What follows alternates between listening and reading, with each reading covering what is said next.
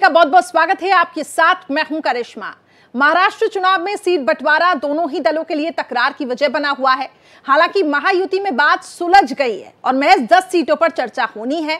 लेकिन बात फंसी है महाअघाड़ी में नब्बे नब्बे के फॉर्मूले में। 270 सीटों का मामला तो सेट हो गया है, लेकिन बचे 18 सीट अब भी टेंशन की वजह बनी हुई है। अब ज़ाहिर है कि इस अठारह में जिस भी महाअघाड़ी के घटके के खाते में जाएँगे, वो बड़े भाई का भूमिका निभाएगा। लेकिन समाजवादी पार्टी ने भी अपनी मांगे रखकर महाअघाड़ी को फंसा कर रख दिया है। समाजवादी पार्टी ने साफ़ अल्टीमेटम ये दिया है कि अगर उनकी मांग नहीं मानी गई तो तमाम मुस्लिम बहुल सीटों पर 25 उम्मीदवार खड़े किए जाएँगे। बहरहाल, अब महाअघाड़ी कैसे इन मसलों को हल करती है, ये देखने वाली बात होगी। इस पर हम करेंगे चर्चा। खास मेहमानों का पैनल भी होगा, लेकिन सबसे पहले आपको दिखाते हैं एक रिपोर्ट। महाराष्ट्र में सीट शेयरिंग पर माथा पच्ची। महाअघाड़ी में सीट बंटवारे पर फंसी गाड़ी। महायुति में 10 सीटों पर उलझा पेज तकरार बरकरार। महाराष्ट्र चुनाव में महाविकास आघाड़ी की गाड़ी 90-90 के फार्मूले के बाद भी अटकी लग रही है। 270 सीटों पर सहमति तो बनी है, लेकिन अब भी 18 सीट पर बात नहीं बन पाई है। वहीं सीईसी की बैठक में राहुल गांधी ने भी कांग्रेस की मज़बूत सीटों को उद्धव ठाकरे की शिवसेना को देने पर नाराज़गी जताई थी। बहरहाल, समाजवादी पार्टी ने अघाड़ी को अल्टीमेटम दिया है। समाजवादी पार्टी नेता अबू आजमी ने कहा कि पाँच सीटें दी जाएँ, नहीं तो 25 उम्मीदवार उतारेंगे। इसका मतलब ये कि वो लोग नहीं चाहते हैं कि सरकार महायुति महा विकास अघाड़ी की आए ये ये बोल सकता हूँ मैं। जिस तरह से हुआ पहले इसके पहले हुआ कई जगहों पर बिना अलायंस के लड़े और हारे या भी ऐसे होगा फिर। इंतज़ार कर रहा हूँ मैं बिल्कुल एकदम तैयार हूँ। मैं धोखे में पिछली बार की तरह अब नहीं आने वाला हूँ। कितनी सीटें कम से कम बीस तो ज़रूर बीस से पच्चीस हो सकती है। वही बात महायुति की करें तो यहाँ सब कुछ तय हो गया है लेकिन अब भी 10 सीटों पर सहमति नहीं बन पाई है। ये तो अभी सीटों की बात है। वहीं महायुति अपने साथी दलों की एकता दिखाने के लिए उनके झंडों का भी इस्तेमाल कर रही है। शुक्रवार को डिप्टी सीएम देवेंद्र फडणवीस के नामांकन में ये नज़ारा दिखा था। बहरहाल चुनावी समर में तेज़ी मंगलवार के बाद और दिखेगी। जब नामांकन की तिथि खत्म हो जाएगी, जो भी हो, इस बार चुनाव दोनों ही गठबंधनों के लिए बेहद नाक की लड़ाई है। भारत एक्सप्रेस के लिए मुंबई से अभिषेक पांडे की रिपोर्ट। तो देखिए 10 सीटों पर महायुति में पेंच यहाँ पे फंसा हुआ है। महाराष्ट्र चुनाव में लेकर महाअघाड़ी की अगर हम बात करें तो 90 90 के फॉर्मूले के बाद भी यहाँ पर भी गाड़ी अटकी हुई है। 270 सीटों पर सहमति तो बनी, लेकिन अब भी 18 ऐसी सीट है, जिस पे बात नहीं बन पाई है। वहीं अगर सीसी की बैठक की बात करें तो लगातार राहुल गांधी ने कांग्रेस की मज़बूत स्थिति को लेकर उद्धव ठाकरे की शिवसेना को देने पर नाराज़गी ज़ाहिर की थी।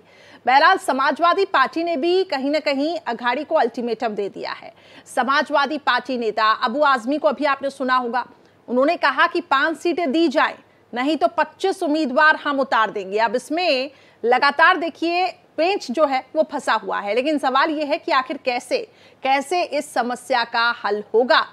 वहीं देखिए महाअगाड़ी में जो लड़ाई है, वो अभी भी जारी है। सीटों को लेकर 18 सीटें ऐसी हैं जिन पर अभी पेंच फंसा हुआ है।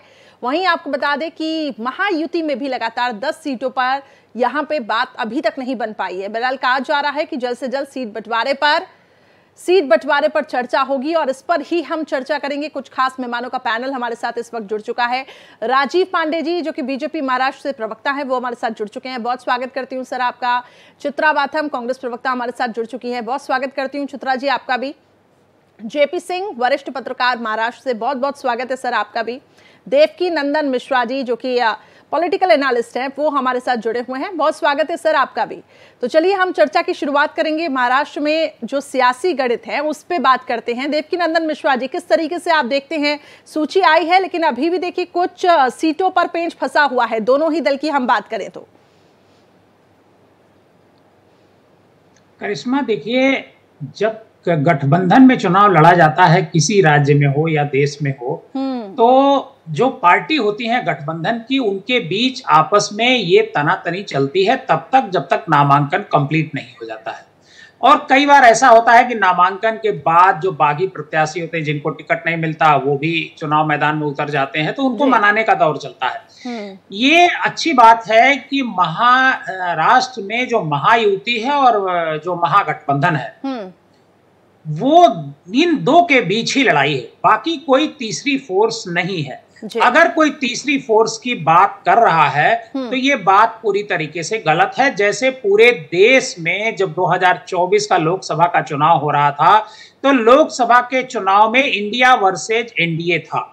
इसी तरीके से महायुति वर्सेज महागठबंधन है। हम्म। और इसके अलावा महाराष्ट्र में कोई बात कुछ भी करता रहे आप चाहे अबू आजमी साहब भी बात कर रहे हैं पच्चीस सीट हमको चाहिए बीस सीट चाहिए उनको बीस सीट वहाँ क्या करेंगे वो हम्म। कभी बीस पच्चीस सीटों पर उन्होंने लड़ा चुनाव कभी नहीं लड़ा तो जब लड़ा ही नहीं तो आज उनको कैसे सीट मिल जाएगी उनको ऐसा लगता है हम्म। कि अगर हमको कुछ सीटें ज़्यादा इसमें मिल जाती हैं हम्म। तो हमारे हमारे एमएलए ज़्यादा हो जाएँगे क्योंकि उनको दिख रहा है कि चूँकि आमने सामने की फाइट है जब कभी भी आमने सामने की फाइट होती है तो उसमें जो कांग्रेस होती है उसको थोड़ा सा बेनिफिट होता है आप 2024 लोकसभा का चुनाव देखिए हम्म। सबसे ज़्यादा सीटें महाराष्ट्र में कांग्रेस ने जीती थी तेरह सीटें कांग्रेस ने जीती थी हम्म। तो ये बड़ा एक अचीवमेंट था कांग्रेस इसी वजह से मुझे लगता है कि ज़्यादा सीटों पर अड़ी हुई थी लेकिन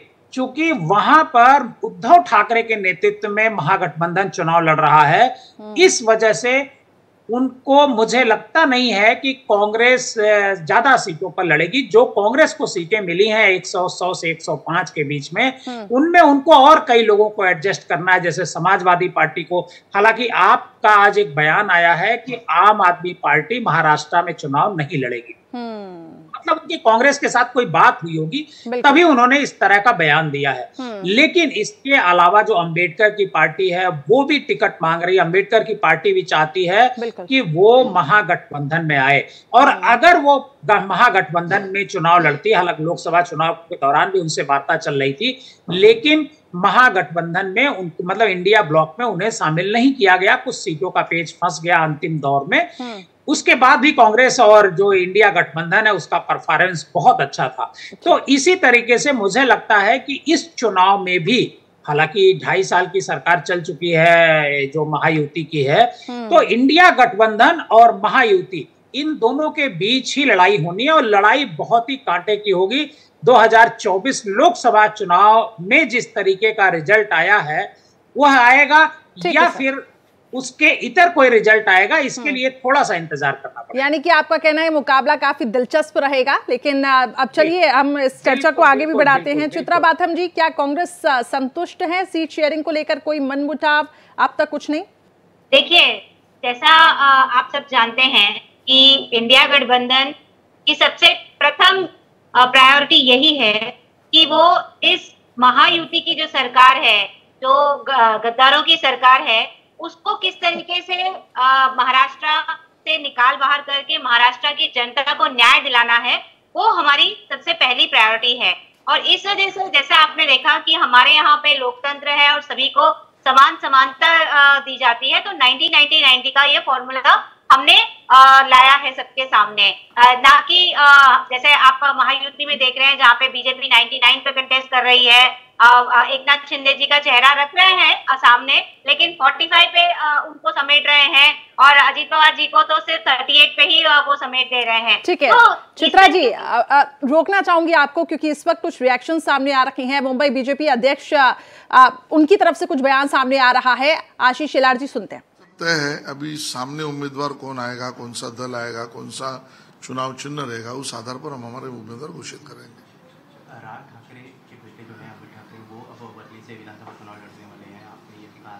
नहीं वर्ली से नहीं लड़ रहे हूँ राज ठाकरे के बेटे अमित ठाकरे जो है माही से चुनाव लड़ने वाले हैं। आपने थोड़े समय पहले कहा कि आप जो है वो देखिए मेरा व्यक्तिगत सोच है और मेरी जैसी सोच रखने वाले राजनीति में काफ़ी लोग हैं। राजनीति छोड़कर भी काफ़ी लोग हो सकते हैं। आज तक राज ठाकरे जी ने हिंदुत्व की भूमिका ली, रिश्तों को निभाया है, दलों के अंदर और दलों के बाहर भी। तो इस प्रकार के रिश्तों को निभाना ये महाराष्ट्र की संस्कृति की परंपरा है। हमारे में, आपस में, तीनों दल में, महायुति में कोई झगड़ा नहीं। सदा सरवणकर जी की उम्मीदवारी का विरोध मैं नहीं कर रहा हूँ। मैं ये पहल कर रहा हूँ, माननीय मुख्यमंत्री उप मुख्यमंत्री जी से, कि तीनों दिल, दल मिलकर हम उस परंपरा को आगे बढ़ा सकते हैं क्या? और अमित ठाकरे जी को पूरा समर्थन दे सकते हैं क्या? अपने परिवार का युवा एक नेतृत्व आगे आ रहा है। अब ये निर्णय अंतिमता तीनों नेताओं को करना है। वो तीनों नेताओं का निर्णय अंतिम होगा। सर संगम नेर का एक वीडियो जो है वो वायरल हो रहा है जहाँ पर जो विजय वडेट्टीवार की बेटी है। भारतीय जनता पार्टी के जो कार्यकर्ता हैं उनकी ओर से इस तरीके का बयान दिया गया है। किस तरीके से देखते हैं? बयान ये था कि अगर इनके जो कारनामे हैं विजय वडेट्टीवार की बेटी के जो कारनामे अगर हम इन पर आएँगे तो इनका जो है महिलाएँ जो है वो बाहर नहीं आ पाएँगी घर से। किस तरीके से देखते हैं? मुझे इसकी पूरी जानकारी नहीं है। और पूरी जानकारी के बिना बोलना ये ठीक नहीं है। लेकिन मैं as a policy as a मेरा मत कह सकता हूँ नॉट ऑन दिस इंसिडेंस कि हम आलोचना, टीका टिप्पणी ज़रूर करें, कुछ मर्यादा रखकर, और उसकी शुरुआत संजय राउत स्वयं करें, ऐसा मेरा कहना है। तो सवाल यही है चित्रा जी कि आखिर कांग्रेस में, जैसा कि आप कह रही हैं, कांग्रेस भी अपने अच्छे परफॉर्मेंस की वजह से दावेदारी यहाँ पे ठोक रही है कि अधिक से अधिक सीटें मिले। लेकिन सवाल यह है कि कैसे आखिर सभी दल जो है, उनके दिल मिलेंगे? आपको लगता है कि पार्टी में सब कुछ ठीक है? सीट बंटवारे को लेकर कोई भी यहाँ पे मनमुटाव नहीं होगा? करिश्मा जी। दिल मिले हुए हैं इसीलिए दल एक साथ बैठे हुए हैं हम्म। तो मैं आपसे ये कहना चाहूँगी कि कांग्रेस में लोकतंत्र है इंडिया गठबंधन में लोकतंत्र है और यहाँ पे एक हेल्दी फाइट हो रही है और हम्म। हर कोई अपना दावा जो है बहुत ही कॉन्फिडेंस के साथ पेश कर रहा है और हर कोई चाहता है कि जो इंडिया गठबंधन जो भी समीकरण है उसमें उनका कहीं ना कहीं एक अच्छा योगदान रहे और हम्म। जनता के जो अरमान है उनको वो कहीं ना कहीं पूरा करने का उन्हें उन्हें भी एक सुनहरा मौका मिले। हम्म। मैं आपको यहाँ पे बताना चाहूँगी कि 1333 एप्लीकेशन हमें कांग्रेस पार्टी को मिले हैं टू एटी एट सीट के लिए। तो, तो आप समझ सकते हैं कि on an average six two seven application पर कॉन्स्टिट्युएंसी हमें मिले हैं। तो यहाँ पे जब हम सीट बंटवारा कर रहे हैं, उसके बाद में जो कैंडिडेट्स की जो घोषणा होने वाली है तो जो भी जिनको नहीं मिलेगा ये मौका चुनाव लड़ने का, जो रिबेल्स के भूमिका लेंगे, हमने हरियाणा में देखा है कि रिबेल्स किस तरीके से हमें उन्होंने एक अच्छा घात लगाया हुआ था। तो हम्म। इस तरह इसलिए हम चाहते हैं कि कहीं ना कहीं हम हर एक में एक सामंजस्य तय करके और फिर हम बाकी बाकी की जो सीट्स हैं उसको हम आगे लेकर जाएँ उनके नामों की हम घोषणा करें। तो ये स्ट्रैटेजी के तहत चल रहा है और इसमें परेशान होने की कोई बात नहीं है। लेकिन जैसा मैंने कहा कि इंडिया ब्लॉक के अंदर एटलीस्ट एक हेल्दी फाइट है ओपन फाइट है। यहाँ पे अगर आप महायुति की अगर बात करें आप कहते हैं कि एकनाथ शिंदे का जी का चेहरा है वो सीट देते नहीं है। इसके साथ मैं आपको बताना चाहूँगी कि बीजेपी के द्वारा खड़े किए जो इंडिपेंडेंस है वो शायद एक नाथ शिंदे जी की जो सीट है वो सक्सेसफुली आने भी नहीं देंगे। तो हम्म। ऐसी भी एक संभावना है। तो हम यहाँ पे आ, पीछे से घात नहीं लगाते हैं।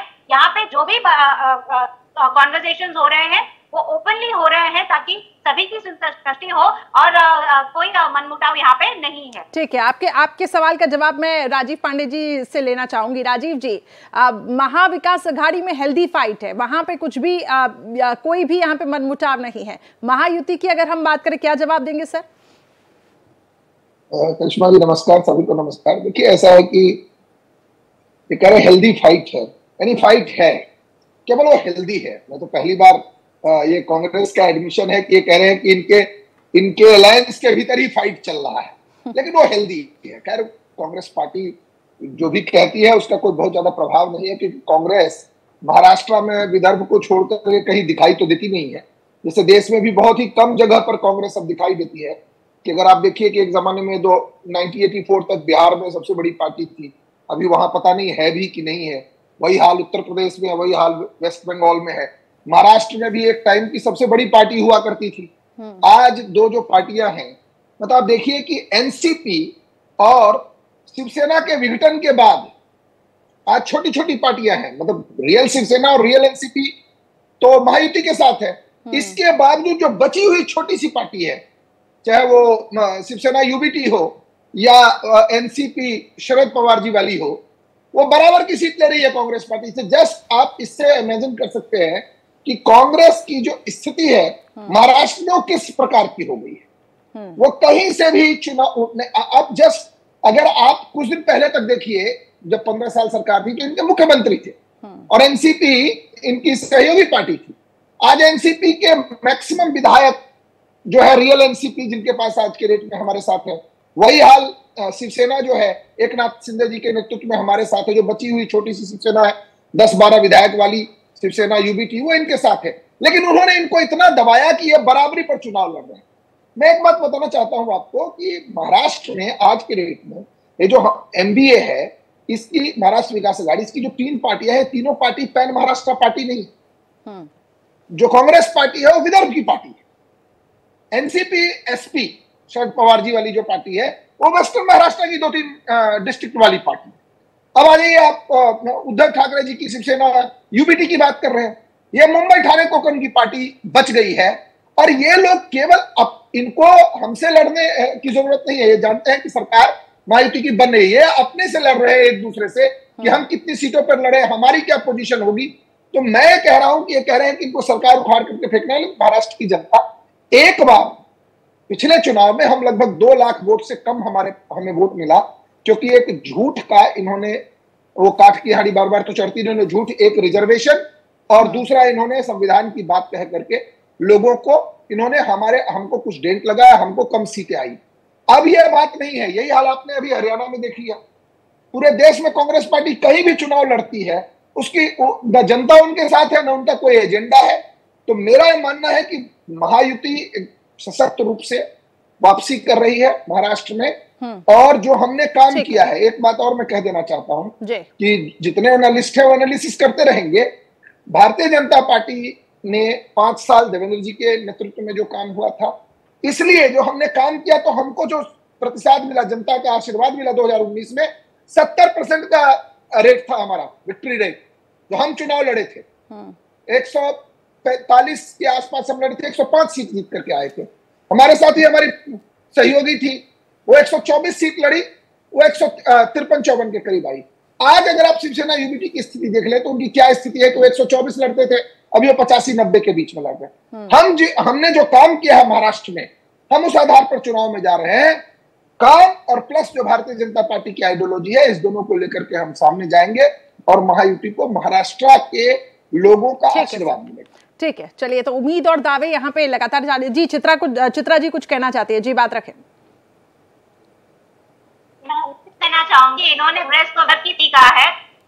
तभी हम कहे हैं कि देवेंद्र फडणवीस जी या बावन ज़िले जी जैसे जो इनके बड़े बड़े नेता हैं, वो विदर्भ में पिछड़ने वाले हैं। और जहाँ तक इन्होंने अपने काम की बात करी है अगर इनको अपने काम के ऊपर इतना ही इतना ही गर्व है पिछड़ने वाले वो भविष्य के कॉन्फिडेंस है आप क्यों ये बन जाइए प्रवक्ता के बजाय भविष्य वक्ता बन जाइए। नहीं बोली थी मैं आपके हाँ मैं आपके बीच में नहीं बोली थी तो मैं ये पूछना चाहूँगी तो बटेंगे तो कटेंगे बातें ये क्यों महाराष्ट्र के अंदर लेकर आ रहे हैं इनके ही अभी जो आपके रिपोर्टर ने बताया मैं बताना चाहूँगी कि वो विजय वडेट्टीवार जी की बेटी के लिए नहीं बोला है वो बाला साहब थोड़ा जी की बेटी के लिए बोला है अहमदनगर संगमनेर में आ, क्यों बेतनीसी पे उतर के आ रहे हैं और महिला विरोधी बा, बातें कर रहे हैं तो इन अपने काम के ऊपर बिल्कुल बिल्कुल भी कॉन्फिडेंस नहीं है इन्होंने क्या काम किया है इन्होंने सिर्फ़ और सिर्फ़ मराठी अस्मिता को धराशायी करने का काम किया है इसलिए जहाँ इनको पूरी तरीके से कांग्रेस का एजेंडा चित्रा जी, कांग्रेस का एजेंडा पूछ रहे हैं। मैं इस सवाल के साथ आऊँगी आपके पास, लेकिन इस पैनल में हमारे साथ जेपी सिंह जी भी जुड़े हुए हैं, वरिष्ठ पत्रकार। उन्हें भी हम इस पैनल में ज्वाइन करवा लेते हैं।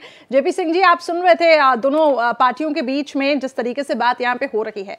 आप किस तरीके से देखते हैं, महाराष्ट्र के इलेक्शन को? अभी तो देखिए सीट शेयरिंग को ही लेकर जद्दोजहद जारी है। देखिए करिश्मा जी सबसे पहले मैं ये कहना चाहूँगा कि 2004 का चुनाव भी विधानसभा का मैंने नज़दीक से देखा है जब बाला साहब ठाकरे खुद प्रचार करने के लिए पूरे महाराष्ट्र में गए थे हम्म। और अहमदनगर और शिरडी में मैंने उनका डेढ़ घंटे का लाइव इंटरव्यू किया था उस वक्त उन्होंने बहुत सारी ऐसी बातें बताई थी कि आने वाले समय में राजनीति किस करवट जा सकती है और वही चीज़ दो हज़ार चौबीस में हम यहाँ महाराष्ट्र और मुंबई की धरती पर देख रहे हैं तीन हम्म। गठबंधन दो गठबंधन प्रमुख है और दो छोटी दो जो स्थानीय पार्टियाँ हैं जो राज्य इकाई की पार्टियाँ हैं, वो चुनाव लड़ रही है। प्रकाश अंबेडकर वंचित आघाड़ी से चुनाव लड़ रहे हैं और वो जो डेंट करेंगे जो सबसे ज़्यादा नुकसान करेंगे ये माना जा रहा है कि महाविकास आघाड़ी को प्रकाश अंबेडकर नुकसान करेंगे। जिससे पिछले लोकसभा चुनाव में और उसके पहले 2014 के विधानसभा चुनाव और 2019 के विधानसभा चुनाव में देखा गया है कि बहुत सारी जो सीटें हैं वो कांग्रेस पार्टी इस वजह से हारी क्योंकि प्रकाश अंबेडकर की पार्टी ने वहाँ पर बीस हज़ार तीस हज़ार पंद्रह हज़ार वोट ले लिए थे। और दूसरी महत्वपूर्ण जो बात है वो ये है कि राज ठाकरे इस बार अकेले चुनाव लड़ रहे हैं 2024 में। और राज ठाकरे की पार्टी ने ये अपने एक एक प्रण लिया है कि जो 2009 के विधानसभा चुनाव में उनको सीटें मिली थी, यानी कि करीब जो चौदह सीटें मिली थी, उससे ज़्यादा सीटें वो जीतकर इस बार आए।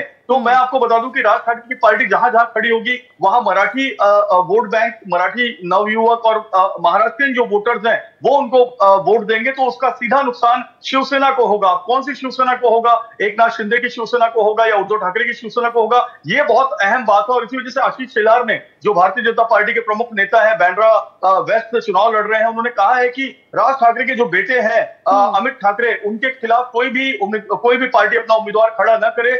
उनको जो है आ, आ, आ, उनके खिलाफ कोई चुनाव न लड़े। ये इसके इसके पीछे कहने की वजह क्या है? क्योंकि बहुत सारे नेता इस बार दिल्ली से जो महायुति को आदेश आया है महायुति के नेताओं को आदेश आया है वो यही आया है कि लीड फ्रॉम द फ्रंट आपको ग्राउंड ज़ीरो पर जाना है और ग्राउंड ज़ीरो से आपको चुनाव लड़ना है। आप देखिए देवेंद्र फडणवीस नागपुर से लड़ रहे हैं अजीत पवार बारामती से लड़ रहे हैं और जो एक नाथ शिंदे है वो थाने पाँच पखाड़ी से चुनाव लड़ रहे हैं यानी कि आनंद दिखे के घर से चुनाव लड़ रहे हैं। तो हम्म। तीनों प्रमुख नेता तीनों प्रमुख महायुति की पार्टियाँ पार्टियों के जो मुखिया हैं वो ग्राउंड ज़ीरो पर जाकर चुनाव लड़ रहे हैं। ये उन्हें दिल्ली आला कमान ने साफ़ तौर पर कहा है क्योंकि एक सीट से अगर एक बड़ा नेता चुनाव लड़ता है तो अगल बगल की दस सीटों पर उसका असर पड़ता है। ये आपने पहले भी देखा होगा कई सीटों पर। तो देवेंद्र फडणवीस विदर्भ में अगर चुनाव लड़ रहे हैं तो कांग्रेस को वहाँ पर कमज़ोर करने की रणनीति है। पाँच पखाड़ी में थाने में अगर इतना शिंदे चुनाव लड़ रहे हैं तो मुंबई तक उसका असर आए ऐसी उनकी ऐसे वो चाहते हैं। और यही अजीत पवार पश्चिम महाराष्ट्र और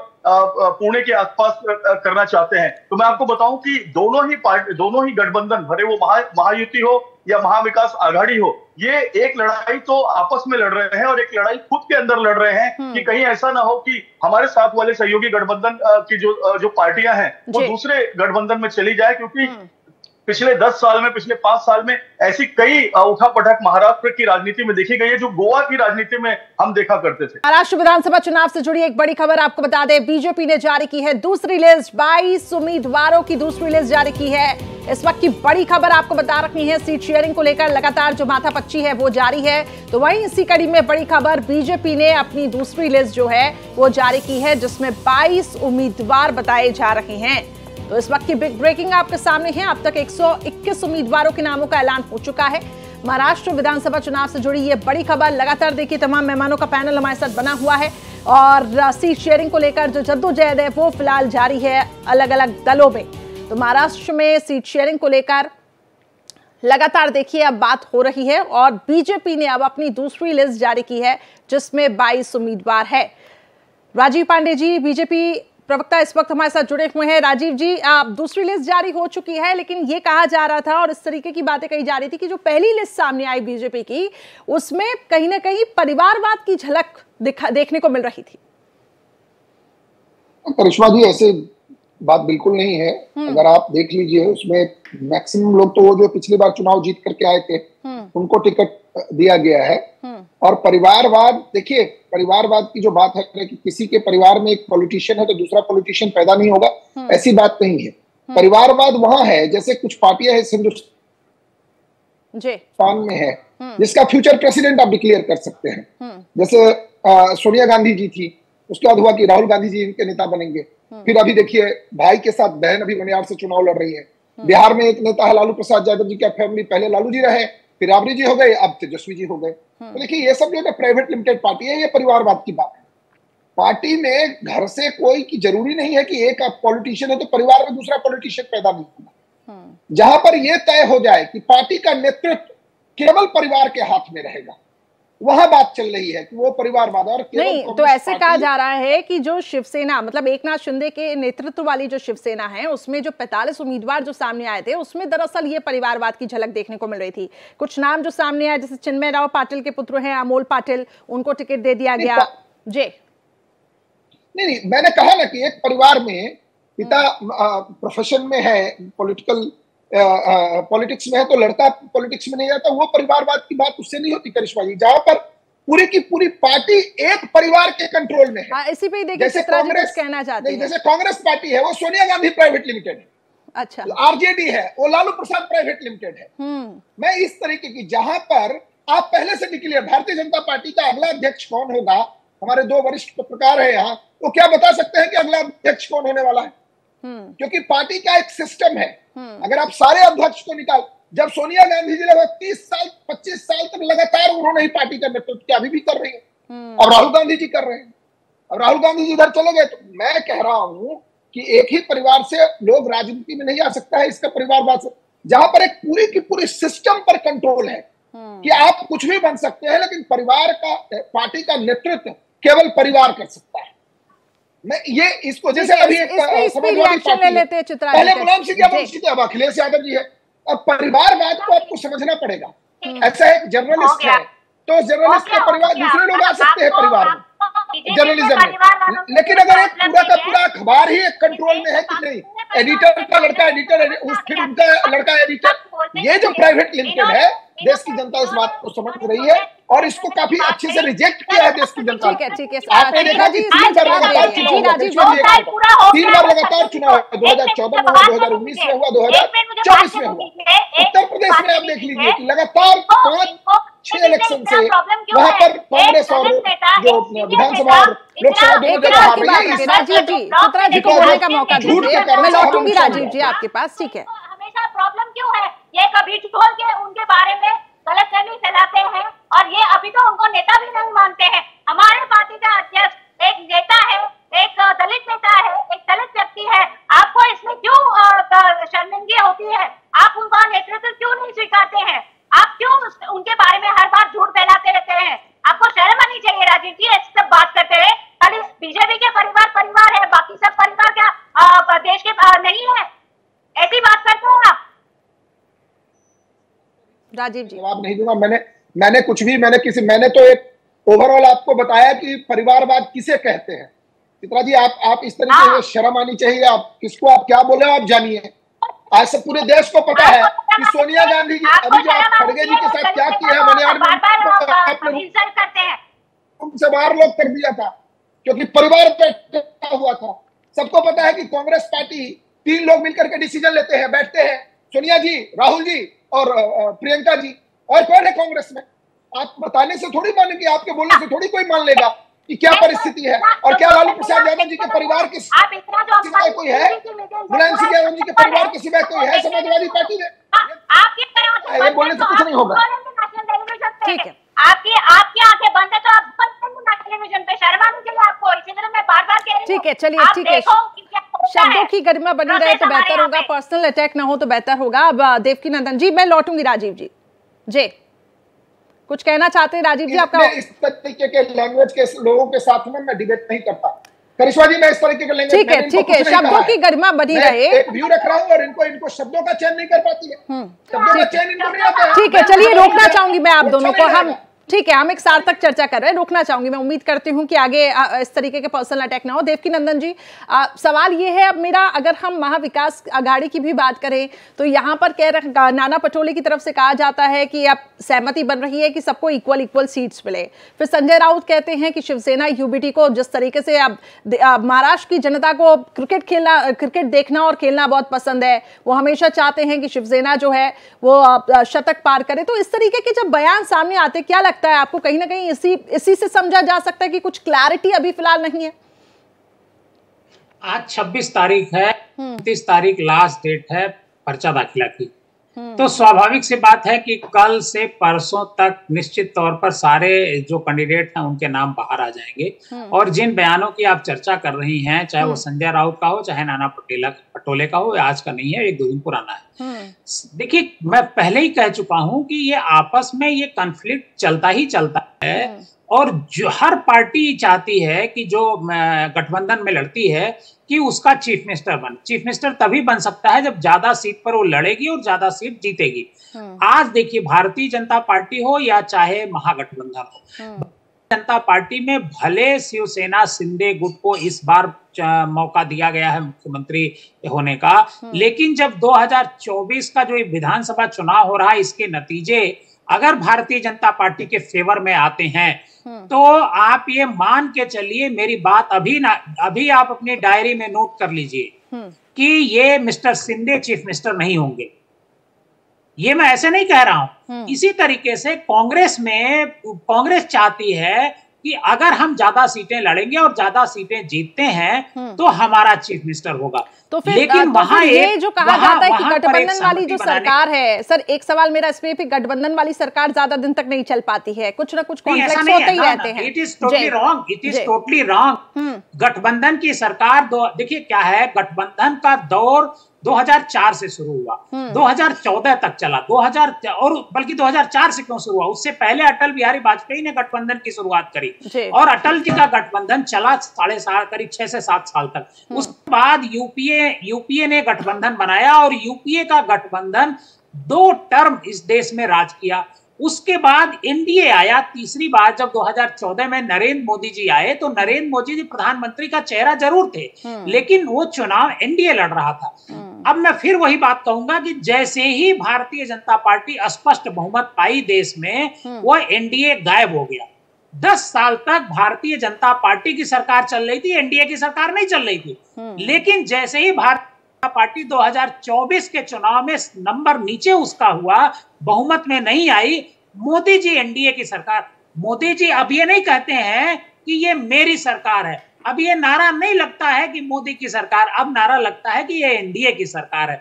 तो इसी तरीके से भारतीय जनता पार्टी अगर ज़्यादा सीटें जीतती है और उसे लगता है कि वो बहुमत की सरकार बना सकती है भले भले सिंधे की पार्टी को उसके तोड़ना पड़े तो भारतीय जनता पार्टी बनेगा ये आप अपनी डायरी में नोट कर लीजिए ये जब नतीजे आएँगे उस दिन आपके बात देखिए। राजीव पांडे जी क्या कहेंगे फिर इस पे? राजीव पांडे जी देखिए अभी जो उनका वो जो कहेंगे उन्होंने देखिए उन्होंने जो परिभाषा उन्होंने जो परिभाषा बताई परिवारवाद की वो मुझे लगता नहीं है कि अगर एक सामान्य आदमी होगा तो वो परिवार की जो बात मोदी जी करते हैं जो बात भारतीय जनता पार्टी के नेता करते हैं या जो और लोग भी करते हैं उससे कोई इतर परिवारवाद है टिकट बंटने वो महाराष्ट्र इसमें दो जगह चुनाव हो रहा है। हरियाणा में चुनाव हुआ बीजेपी ने अपने परिवार के बच्चों को टिकट दिया। महाराष्ट्र में चुनाव हो रहा है वहाँ सब परिवार भाई बहन बेटे बेटी लड़ रहे हैं चुनाव। झारखंड में चुनाव हो रहा है वहाँ कोई राज्यपाल की बेटी लड़ बहू लड़ रही है तो कोई एक्स एमपी है उस चीफ मिनिस्टर है उसकी बेटी लड़ रही है बेटा लड़ रहा मतलब एक एक परिवार में दो दो तीन तीन टिकट दिए गए तो परिवारवाद की परिभाषा जो राजीव पांडे जी प्रवक्ता वो तो कहेंगे ही जो परिभाषा वो बता रहे हैं वो निश्चित तौर पर बीजेपी ने एक लाइन सेट कर रखी है उस लाइन पर वो बोलेंगे। लेकिन अब परिवारवाद जो अगर शब्द परिवारवाद है उसको अगर आप डिफाइन करेंगे तो परिवारवाद का मतलब है कि मैं अगर पत्रकार हूँ और मैं अपने बेटे को अपने संस्थान में संपादक बना दूँ तो ये परिवारवाद तो फिर ये परिवार तो हर हर पार्टी में हर कुंबे में चल रहा है। एक मिनट एक मिनट। चल रहा हाँ। नहीं नहीं नहीं करिश्मा जी बिल्कुल उन्होंने जो अंत में जो उन्होंने कहा है दत्तीनंद मिश्रा जी उनसे उन्होंने मुझसे सवाल पूछा तब सुनिए। अंत में जो इन्होंने कहा है बिल्कुल सही कहा। क्या ये देवकी नंदन मिश्रा जी जिसमें एडिटर होंगे अपने पुत्र को एडिटर बना दे वो परिवारवाद? लेकिन देवकी नंदन मिश्रा जी का पुत्र, पुत्र कल को जर्नलिस्ट नहीं बने ऐसा नहीं है। जर्नलिस्ट बन सकता है वो। बिल्कुल उन्होंने तो मेरी ही बात कह दी। अब क्या होता है परिवारवाद का क्या है कि आप जब आप ही अध्यक्ष हैं और अगला अध्यक्ष भी आप है तो आप उस पूरी पार्टी के सभी चीज़ों पर उसकी आइडियोलॉजी यानी आइडियोलॉजी कुछ नहीं है। जो प्राइवेट लिमिटेड पार्टी लोगों ने बना रखी है जो हम कहेंगे वो मेरी पार्टी की आइडियोलॉजी है। इस देश में भारतीय जनता पार्टी और कम्युनिस्ट पार्टी अब जो बची नहीं है इनका कैडर बेस्ड पार्टी था। अभी आपने सुना होगा Indira is India India is Indira. इसीलिए उनके एक नेता ने कहा कि जब एक इंदिरा गांधी जी की हत्या हुई तो उन्होंने जब दस हज़ार से ऊपर सिखों का कत्याम होगा तो कहेगा कि बड़ा पेड़ गिरता है तो धरती में कंपन होती है। ये परिवारवाद की पराकाष्ठा, ये सब बातें हैं कि हम तय करेंगे। बाबा साहब अंबेडकर को बाद में भारत रत्न, अपने परिवार के लोगों को पहले भारत। नेहरू जी ने अपने आप को ही रिकमेंड किया भारत रत्न के लिए और खुद को ही भारत रत्न दे दिया। बाबा साहब अंबेडकर से ज़्यादा बड़ा कंट्रीब्यूशन है क्या? राजीव गांधी जी का? उनके परिवार के सभी लोगों को भारत रत्न मिलता है। पता नहीं किस चीज़ के लिए मिलता है। लेकिन मिलता है। बाबा साहब के अंबेडकर जी को कब मिला भारत रत्न? जब नॉन गवर्नमेंट कांग्रेस सरकार आई। परिवारवाद ये है। और जहाँ तक इन्होंने कहा कि एनडीए की सरकार और मोदी जी की सरकार मोदी जी कहते हैं भारत के संविधान जो बाबा साहब अंबेडकर जी के नेतृत्व में बना है उसमें आर्टिकल सेवेंटी फोर है। सब सेक्शन वन वो कहता है कि भारत की जो सरकार होती है वो प्रधानमंत्री और उनके जो कैबिनेट है उसको मिलकर के वो सरकार कहते हैं। तो प्रधानमंत्री की सरकार होती है सर। चाहे भले ही उसमें कई भी पार्टियाँ हो अब लोगों को लगता है कि 240 आने के बाद चलिए ठीक है। राजीव जी इस डेफिनेशन को समझना होगा इन डेप्थ में। देवकी जी से भी मैं इसको समझूँगी। जी। कि जेपी सिंह जी, मैं आपके पास आना चाहूँगी। आप अभी तक आपने पूरी चीज़ों को सुना, सर, लेकिन बस बात वहीं पर आ जाती है, जिस तरीके से आप कह रहे थे कि अंबेडकर की पार्टी और उसके बाद राज ठाकरे की पार्टी, आखिर किस तरीके से कहाँ पे नफा नुकसान पहुंचाती है, ये फ़िलहाल देखना होगा। लेकिन जो एक परसेप्शन सेट किया जा रहा है, चाहे हम अगर महाराष्ट्र के चुनाव की बात करें तो इस वक्त मराठा आंदोलन भी पीक पर, इसको लेकर भी देखिए लगातार चर्चा हो रही है। क्या लगता है आपको? क्या ये ये कहीं ना कहीं अफेक्ट कर पाएँगे? जी बिल्कुल देखिए मराठा आंदोलन का जो पूरा श्रेय है वो जरांगे को गया है और जरांगे ने भी अपनी कुछ उम्मीदवारों की सूची जो है संभावित सूची वो अब तक जारी की है। तीन दिन बाकी है जैसे कि सारे पैनलिस्ट कह रहे हैं कि तीन दिन में ही सारे नतीजे सारे उम्मीदवारों की सूची आ जाएगी लेकिन मैं आपको बताऊँ करिश्मा जी की 24 घंटे बहुत ज़्यादा क्रूशल हैं। 24 घंटों में ही सभी पार्टियों को अपने सभी उम्मीदवारों की फाइनल सूची ज़ाहिर करनी होगी क्योंकि उसके बाद जो है लीगल टेक्निकल जो है प्रोसेस होता है उसमें भी एक दिन से डेढ़ दिन का समय लगता है ऐसे जो अपनी संपत्ति और सब घोषित करने के लिए। तो मैं एक चीज़ आपको यहाँ पर यह बता दूँ कि जैसे कि मिश्रा जी कह रहे थे कि जो पार्टी सबसे ज़्यादा उम्मीदवार अपने उतारेगी जैसे भारतीय जनता पार्टी इसमें लीड कर रही है भारतीय जनता पार्टी ने 121 उम्मीदवारों का नाम घोषित कर दिया है। तो निश्चित तौर पे ज़्यादा उम्मीदवार उनके अगर जीतते हैं तो मुख्यमंत्री पद के दावेदार के रूप में भारतीय जनता पार्टी आएगी और भारतीय जनता पार्टी की तरफ़ से जो भी उनके उम्मीदवार होंगे जो विधायक दल के नेता बनेंगे वो मुख्यमंत्री बन सकते हैं। यही चिंता उद्धव ठाकरे की शिवसेना को है। उद्धव ठाकरे चाह रहे थे कि 115 सीटों पर चुनाव लड़े फिर घटकर वो सौ पर आ गए और अभी नब्बे नब्बे नब्बे का फॉर्मूला बना है यानी 270 प्लस 18 और 18 सीटों में समाजवादी पार्टी आ, कम से कम पाँच सीटों से इसे मांगने के लिए मानने के लिए तैयार नहीं है जो अखिलेश यादव ने घोषित कर दिया। भिवंडी ईस्ट भिवंडी वेस्ट मानपुर की सीट और उसके अलावा शिवाजी नगर की सीट और झुलिया झुले और मालेगांव की सीट। ये किसी भी हाल में समाजवादी पार्टी छोड़ना नहीं चाह रही है और साथ में संभाजी ब्रिगेड है और भी छोटी छोटी अन्य पार्टियाँ हैं तो अठारह सीटें वो अपने जो सहयोगी दल हैं उनको देना चाह रही है जो महाविकास आघाड़ी है। लेकिन यहाँ सबसे बड़ा पेश वही है कि जो ज़्यादा सीटें लड़ेंगे उन्हीं का मुख्यमंत्री बनेगा। ये बात एकदम साफ़ है क्लियर कट है और इसी वजह से अभी तक जो मंथन चल रहा है या यूँ कह सकते हैं कि एक बंगले से दूसरे बंगले में जो मीटिंग चल रही है, उसका कारण यही है। अब देखिए, मीरा भाईंदर की सीट है, जहाँ भारतीय जनता पार्टी बहुत ही स्ट्रांग पोजीशन में है। वहाँ निर्दलीय जो जो उनकी एक उम्मीदवार है उन्होंने चुनाव जीता और चुनाव जीतने के बाद अब वहाँ पर चार कैंडिडेट हो गए बीजेपी की तो बीजेपी वहाँ पर ये तय नहीं कर पा रही है कि चेहरा कौन होगा। अंधेरी ईस्ट की सीट है जहाँ मुखर्जी पटेल बीजेपी के हैं और प्रदीप शर्मा जो एक्स एनकाउंटर स्पेशलिस्ट है उनकी पत्नी चुनाव लड़ना चाह रही थी। जहाँ शिवसेना और यानी एकनाथ शिंदे की सेना और बीजेपी में कला मची हुई है। वर्सोवा की सीट जहाँ संजय पांडे बीजेपी से मांग रहे हैं और वहाँ पर तीन उम्मीदवार और हैं और सिटिंग एमएलए वहाँ पर बीजेपी की सहयोगी पार्टी है। तो ऐसी कई सीटें हैं ग्यारह सीटें हैं जहाँ महायुति तय नहीं कर पा रही है और करीब पंद्रह सीटें हैं जहाँ महाविकास आघाड़ी तय नहीं कर पा रही है और उसके बाद सहयोगी दलों को देना है। तो ये एक पहली ऐसी लड़ाई महाराष्ट्र में मैं देख रहा हूँ पिछले कई तीस सालों से कि जहाँ पर इतने ज़्यादा दल हैं इतने ज़्यादा दलों का गठबंधन है और सबको संभाल कर चलना है क्योंकि ये लड़ाई इस बार जितनी प्रतिष्ठा का प्रतिष्ठा की बात उद्धव ठाकरे के लिए है उससे ज़्यादा देवेंद्र फडणवीस के लिए है क्योंकि देवेंद्र फडणवीस की लीडरशिप में ये पूरा चुनाव लड़ा जा रहा है। लोकसभा एकनाथ शिंदे की लीडरशिप में लड़ा गया था तो देवेंद्र फडणवीस को ये पता है कि अगर ये चुनाव उन्होंने अपनी लीडरशिप में जीत लिया तो उनका जो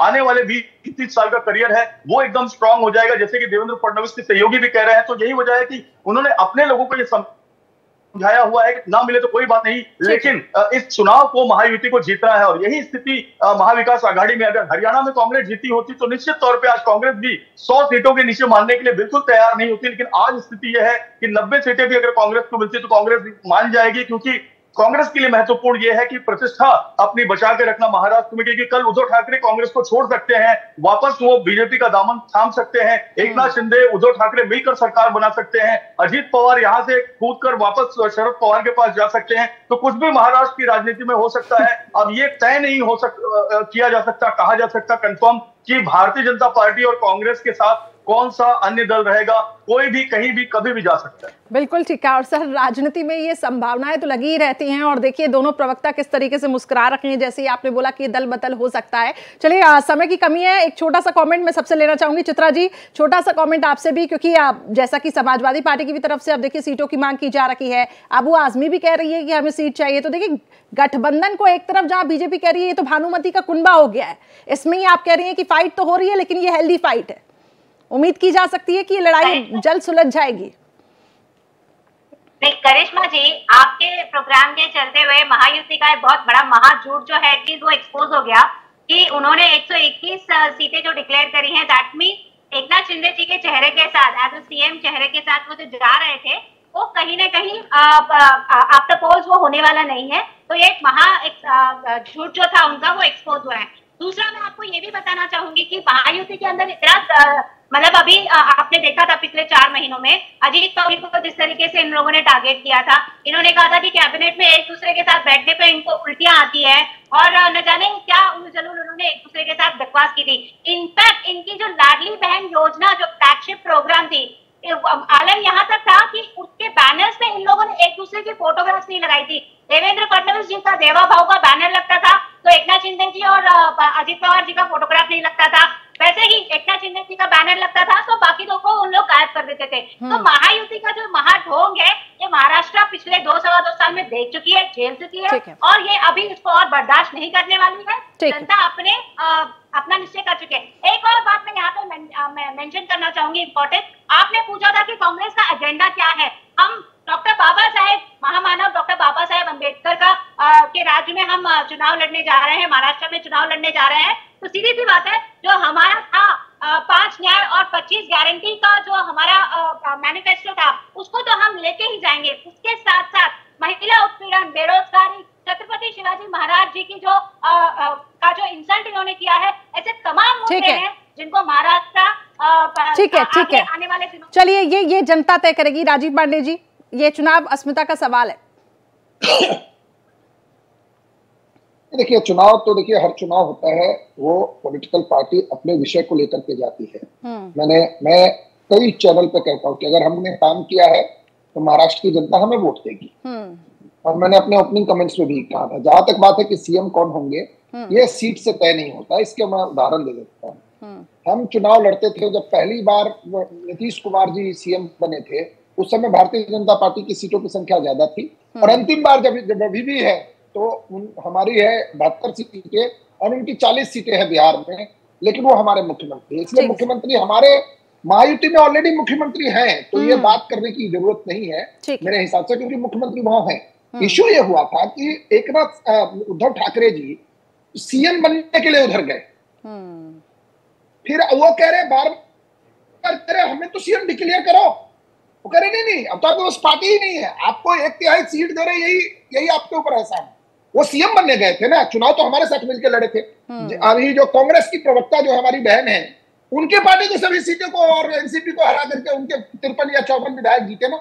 मेन जो है बार बार जो विघटन होने का मेन कारण ये था क्योंकि उनके ही लोगों को हरा मतलब आप ये कह रही हैं कि सीट तय नहीं करेंगी मुख्यमंत्री आखिर कौन होगा? ठीक है एक सिस्टम के साथ पार्टी चलती है। ठीक है सर मुझे ये डिबेट क्लोज करना पड़ेगा लेकिन Devaki Nandan ji quick comment quick.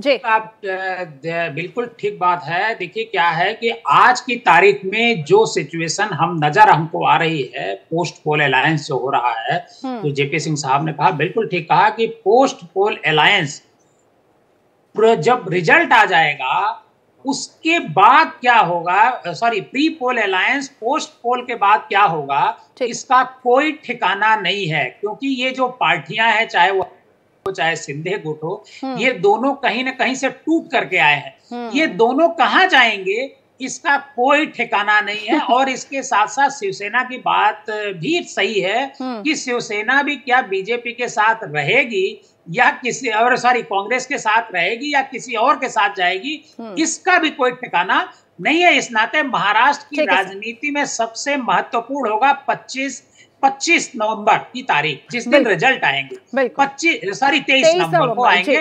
23 नवंबर को जब रिज़ल्ट आएगा तभी ये पता चल पाएगा कि वहाँ कौन किसके साथ बिल्कुल है। यानी कि हमें हमें महाराष्ट्र के चुनावों में थोड़ा सा इंतज़ार जो है वो सीधा रिज़ल्ट का करना होगा। ठीक है सर बहुत बहुत शुक्रिया आप सभी लोगों का हमारे साथ जुड़ने के लिए। बेहद सार्थक ये चर्चा रखी है महाराष्ट्र के गणित को हमने समझा। तो फ़िलहाल हमारी खास बुलेटिन में इतना ही। देश और दुनिया की बाकी खबरों के लिए आप देखते रहिए भारत एक्सप्रेस।